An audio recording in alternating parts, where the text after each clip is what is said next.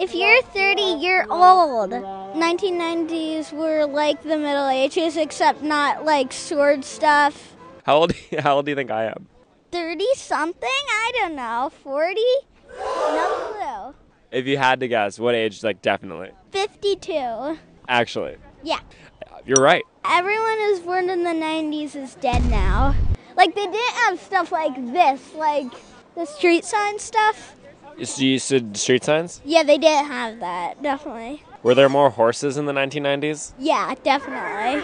Definitely. What do you think the 1980s were like? They were like the Stone Ages. Um, it wasn't like cavemen, kind of the evolution of cavemen a little bit. Yeah.